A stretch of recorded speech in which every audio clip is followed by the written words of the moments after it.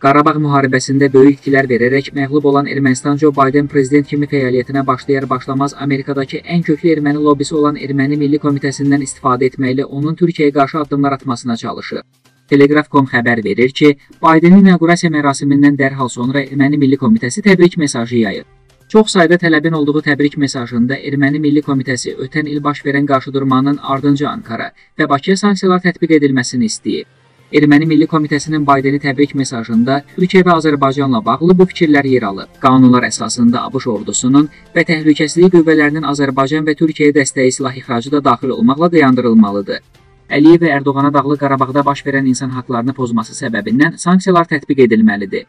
Dövlət Departamenti, Pentaqon və Ədliyyə Nazirlikləri Azərbaycanın istifadə etdiyi Türkiyə istehsalı olan pilotsuz uçuş aparatlarının ABŞ-dan alınan hissələri ilə bağlı araşdırma aparılmalıdır.